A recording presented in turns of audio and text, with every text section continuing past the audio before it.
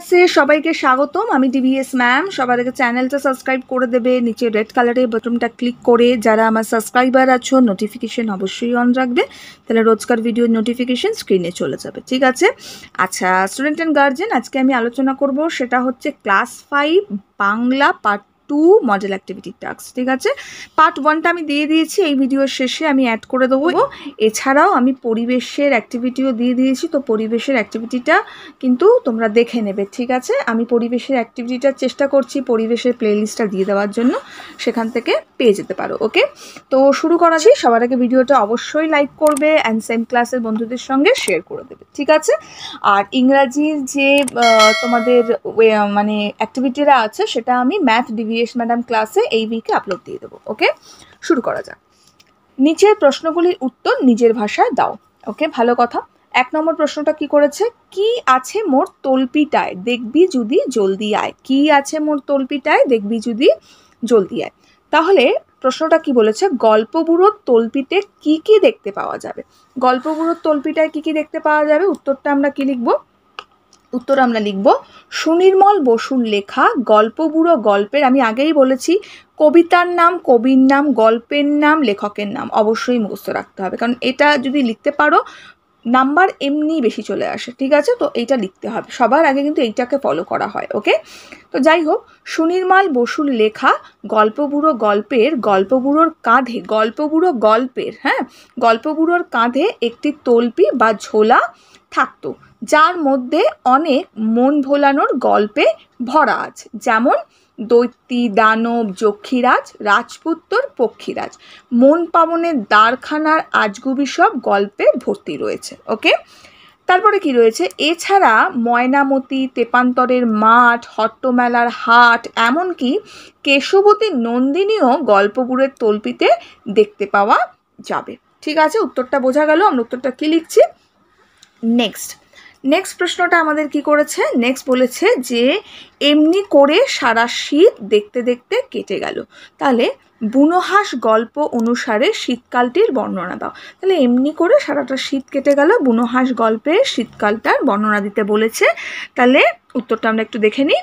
তো আমরা কী লিখব? লীলা মজুমদারের লেখা, বুনোহাস গল্পে লাদাখের বরফে ঢাকা নির্জন জায়গাতে জোয়ানদের ঘাঁটি ছিল। শীতের শুরুতে দলে দলে বুনো হাঁস দক্ষিণের দিকে উড়ে যেত, ওকে? একদিন একটি বুনো হাঁস জখম, ডানা জখম হয়ে ঝোপের উপর কাঁপতে লাগল। তা দেখে আরেকটি বুনো হাঁস নিচে নেমে এলো, ঠিক আছে? জোয়ানরা হাঁসটিকে তাদের মুরগি রাখার খালি জায়গায় রাখল এবং তার সাথে বুনো হাঁসটিও সেখানে রয়ে গেল। হলো? জোয়ানদের দেওয়া টিনের মাছ তরিতরকারি ফলের কুচি ভাত ভুট্টা ইত্যাদি খেত। এইভাবে শীতকাল হাঁস দুটির কাটলো। এরপর শীত কমে গেল এবং হাঁস ধীরে ধীরে সুস্থ হয়ে উঠল। ঠিক আছে? হাঁসটি হবে, এখানে দন্তেশ্ব হবে, হাঁসটি ধীরে ধীরে সুস্থ হয়ে উঠল। তাহলে অ্যান্সারটা আমি একবার রিপিট করি। কি বলছে? লীলা মজুমদারের লেখা বুনো হাঁস গল্পে লাদাখের বরফে ঢাকা নির্জন জায়গাতে জোয়ানদের ঘাঁটি ছিল। শীতের শুরুতে দলে দলে বুনো হাঁস দক্ষিণ দিকে উড়ে যেত। একদিন একটি বুনো হাঁস ডানা জখম হয়ে ঝোপের ওপর কাঁপতে লাগল। তা দেখে আরেকটি বুনো হাঁস নিচে নেমে এলো, ওকে? জোয়ানরা হাঁসটিকে তাদের মুরগি রাখার খালি জায়গায় রাখল এবং তার সাথে বুনো হাঁসটিও সেখানে রয়ে গেল। জোয়ানদের দেওয়া টিনের মাছ তরিতরকারি ফলের কুচি, ভাত, ভুট্টা ইত্যাদি খেয়ে খেত, ইত্যাদি খেত এটা, ওকে? এইভাবে শীতকাল হাঁস দুটির কাটলো, এরপর শীত কমে গেল, হাঁসটি ধীরে ধীরে সুস্থ হয়ে উঠল। তাহলে শীতকালটা কীভাবে কাটলো? আমরা উত্তরটা পেয়ে গেলাম, ওকে? নেক্সট প্রশ্নটা কি আছে? শুনেই হাবু বেজায় কাবু। কোন কথা শুনে হাবু কেন কাবু হয়ে পড়ল? কোন কথা শুনে হাবু কেন কাবু হয়ে পড়ল? তাহলে আমরা উত্তরটা কি লিখব? যে ভবানী প্রসাদ মজুমদারের লেখা দারোগা বাবু এবং হাবু কবিতায় দারোগা বাবু হাবুকে ঘরের দরজা জানলাগুলো খুলে রাখার উপদেশ দিলেন। ঠিক আছে? যাতে ঘরের দুর্গন্ধ বাইরে বেরিয়ে যায়। দারোগাবাবুর দেওয়া এই উপদেশ শুনে হাবু বেজায় কাবু হয়ে পড়ল। কারণ হাবুর ওই ঘরটির মধ্যে তার দেড়শো পোষা পায়রা আছে, ওকে? যদি সে ঘরের দরজা জানলা খুলে রাখে, তাহলে নিশ্চিত বা অবশ্যই যে কোনো একটা ওয়ার্ড ইউজ করবে, তাহলে নিশ্চিত বা অবশ্যই তার পোষা সাধের পায়রাগুলো উড়ে যাবে। তাই সে কাবু হয়ে পড়ল। ওকে, তাই সে কাবু হয়ে পড়ল।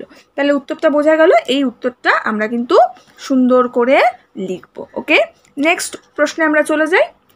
নেক্সট প্রশ্নটা আমাকে কি বলেছে? ঝড় বাদলের রাতে সব শোনা যায়। কি শোনা যায় বলে বক্তার বিশ্বাস। ঝড় বাদলের রাতে সব শোনা যায় কি শোনা যায় বলে বক্তার বিশ্বাস। কতটা আমরা কোথায় পড়েছি? এতোয়া মুন্ডার কাহিনীতে কতটা আমরা পড়েছি? তাহলে আমরা কি লিখব? উত্তরটা আমরা লিখব, মহেশ্বেতা দেবীর লেখা এতোয়া মুন্ডার কাহিনী গল্পে ভজন ভুক্তা নামে এক অন্ধ মানুষ এতোয়াকে এক গল্প শোনায়। ড্যাশ দিয়ে। সুরবীর এক আদিবাসী রাজা ছিল। বাইরের মানুষ এসে যখন তার রাজ্যপাট কেড়ে নিল, তখন তামার ঘণ্টা আর তীর ধনুক নিয়ে সে ডুলং নদীতে ঝাঁপ দিয়েছিল ওকে যদি কেউ ভক্তি ভরে তাকে ডাকতে পারে, রাজা তখনই ঘণ্টা বাজাবে ঢং ঢং। তারপর হাতি চেপে ধনুক হাতে উঠে আসবে জল থেকে। বাঘের মতো গর্জন করে আকাশ কাঁপিয়ে বলবে, কে ডাকে আমায়? কোথায় আমার সেনারা বা আমার সেনারা কোথায়? একই ব্যাপার।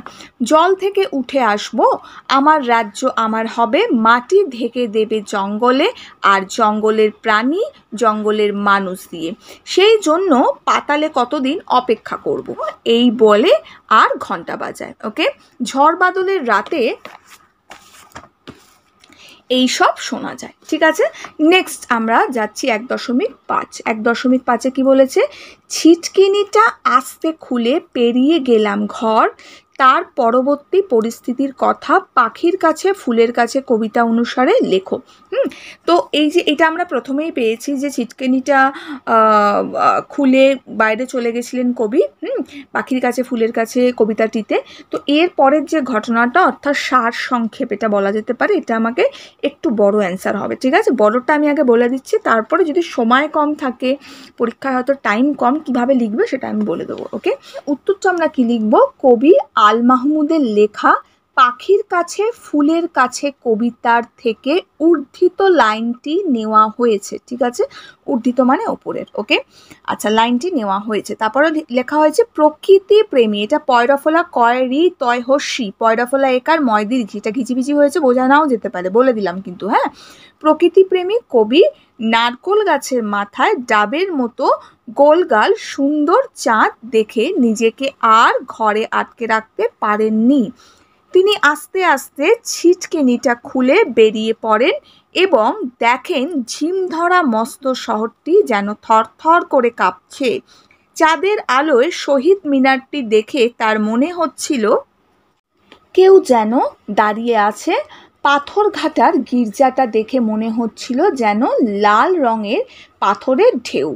দরগাতলা পার হয়ে কবি যেই বাঁ দিকে মন নিয়েছেন, দেখতে পান এক অবাঞ্ছিত পাহাড়, তাকে যেন বা কবিকে যেন ডাকছে। হুম? এরপর লাল দিঘি পার হয়ে কবি দেখেন জোনাকিদের আড্ডা বসেছে সেখানে। কবিকে দেখে আনন্দে উল্লাসিত হয়ে দিঘির কালো জল জানায় তারা না ঘুমানোর দল এবং দিঘির জল রক্তজবার ঝোপের ধারে বসা কাব্য বা সাহিত্য সভায় কবিকে আহ্বান জানায়। এখানে অ্যারো দিয়ে লেখা এই কথা শুনে, হুম? তো এই কথা শুনে ফুল ও পাখির দল সানন্দে সমর্থন সূচক কলরব করে।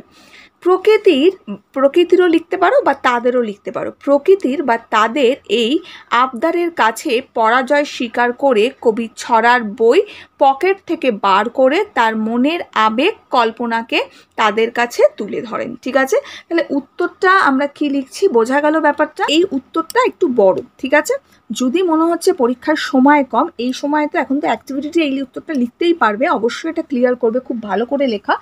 যদি দেখছ পরীক্ষায় সময় কম, তাহলে সমস্ত অ্যান্সারটা কমা দিয়ে লিখতে হবে। কীভাবে লিখতে পারো দেখো? উত্তরটা তখন এইভাবে লিখবে অবশ্যই কবির নাম আর কবিতার নাম লিখবে যে কবি আল মাহমুদের লেখা পাখির কাছে, ফুলের কাছে কবিতার থেকে উদ্ধৃত লাইনটি নেওয়া হয়েছে। নারকোল গাছের মাথায় সুন্দর ডাবের মতো যে চাঁদ তা দেখে কবির মন ব্যাকুল হয়ে ওঠে। তিনি ছিটকানি খুলে বাইরে বেরিয়ে যান। বাইরে যখন বেরোয় শীতে তখন যেন পুরো শহরটা থরথর করে কাঁপছে অন্ধকারে আর সেই শহীদ মিনারটা যেন কবিকে হাতছানি দিয়ে ডাকছেন।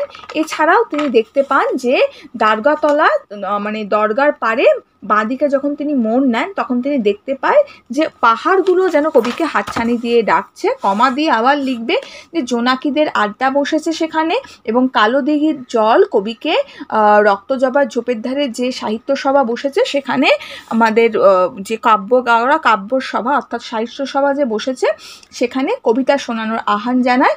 কবি তাদের আবদার ফেলতে পারেননি এবং তিনি তার পকেট থেকে, ছড়ার বই থেকে সুন্দর করে তাদের একটা কবিতা শোনান, যা দেখে পরিবেশটি খুব সুন্দর হয়ে ওঠে এবং পাখিরা, ফুলেরাও খুব খুশি হয়, ঠিক আছে? এইভাবে উত্তরটা নিজের মতো করে তখন ছোট্ট করে করে দিতে হবে, ঠিক আছে? আর লিখতে পারলে অবশ্যই বড়টা লিখবে, ঠিক আছে? হয়ে গেল নেক্সট প্রশ্নে আমরা যাব। এক দশমিক ছয়। এক দশমিক ছয়ের প্রশ্নটা হচ্ছে, খাব না তো আমি। কথাটি বিমলার অভিমান কবিতায় কতবার ব্যবহৃত হয়েছে কথ কেন উচ্চারণ করেছেন? ঠিক আছে? তাহলে উত্তরটা আমরা লিখব কি যে নবকৃষ্ণ ভট্টাচার্যের লেখা বিমলার অভিমান কবিতায় কথাটি চারবার ব্যবহার করা হয়েছে। কতবার? চারবার। ওকে নেক্সট নেক্সট প্রশ্নটা কি বলেছে? কথক কেন উচ্চারণ করেছেন? কথক অর্থাৎ বিমলার কথা বলতেছে, কেন এই কথাটা উচ্চারণ করেছে?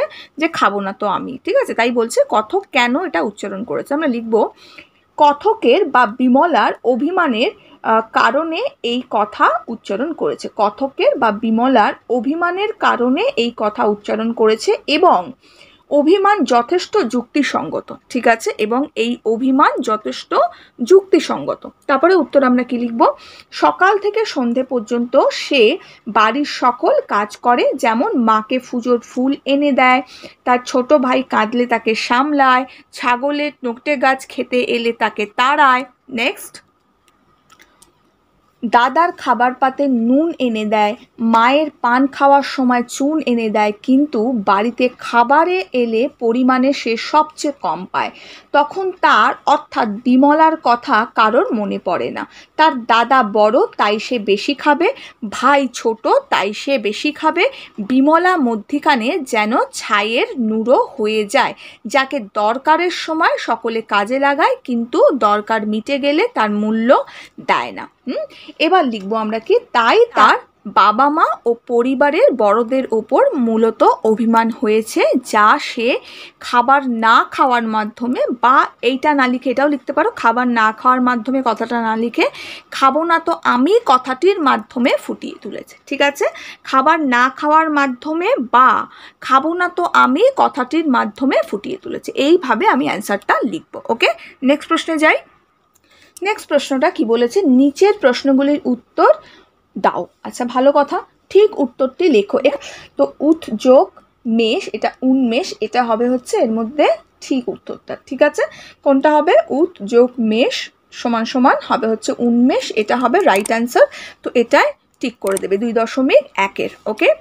নেক্সট আমরা যাচ্ছি নেক্সট হয়ে গেল এটা। দুই দশমিক দুইয়ে আছে। গাঢ় নীল আকাশ আচ্ছা গাঢ় নীল আকাশ মাথার ওপর। নিম্ন পথটি হলো কী পথ আচ্ছা ভালো কথা, গাঢ় নীল আকাশ মাথার ওপর, এটার পথটা আমাকে কী পথ বলেছে? সোজা খুবই এটা বিশেষণের বিশেষণ হবে, ঠিক আছে? গাঢ় নীল আকাশ মাথার ওপর, এটা বিশেষণের বিশেষণ হবে, এটা আমরা দাগ দিয়ে দেবো, ঠিক আছে? নেক্সট দুই দশমিক তিন বলেছে, সন্ধি বিচ্ছেদ করো, পরিষ্কার পরিষ্কারটা হবে পরিযোগ কার পর রহস্যি যোগ কয়াকার রকার হুম, পরিষ্কার, হয়ে গেল, ঠিক আছে? তাহলে আমাদের এইটা কমপ্লিট হয়ে গেল model activity task Bengali part টুটা কমপ্লিট হয়ে গেল, ঠিক আছে? এরপরে কি বাকি রয়েছে আমি দেখে নিচ্ছি, সেটা আমি দিয়ে দেবো। আর ম্যাথ ডিবিএস ম্যাডাম ক্লাসে তোমরা কিন্তু নেক্সট যে ইংলিশের ম্যাথের অ্যাক্টিভিটি সেগুলো পেয়ে যাবে। তো ক্লাসটাকে অবশ্যই সাবস্ক্রাইব করে রাখবে চ্যানেলটা আর নোটিফিকেশানটাও অন করে রাখবে। তো যখনই আপলোড হবে, পেয়ে যাবে। যা কিছু আপলোড হবে ক্লাস ফাইভের সেগুলো পেয়ে যাবে। আর বাংলার যে প্লেলিস্ট আছে, তার মধ্যে কিন্তু সমস্ত প্রশ্ন উত্তর আমার করানো আছে। তো সেগুলো ভালো করে ফলো করবে, ভালো করে দেখবে ওকে আজকের জন্য এইটুকু। বন্ধুদের সঙ্গে অবশ্যই শেয়ার করে দেবে লাইক করবে। টাটা!